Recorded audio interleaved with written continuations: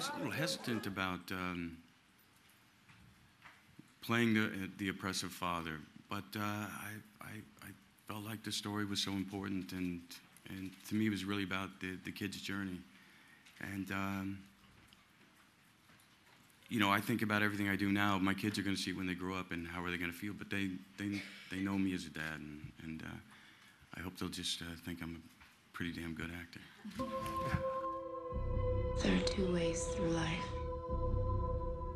the way of nature and the way of grace. You have to choose which one you'll follow. We're alligator.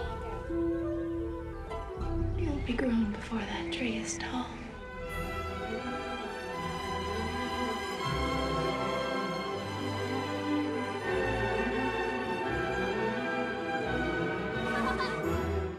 Got so many more of these to, that I'll get to do, and, and I want to make sure that um, it has some worth to me and uh, have some worth in, out there instead of something that's more disposable. It takes fierce will to get ahead in this world.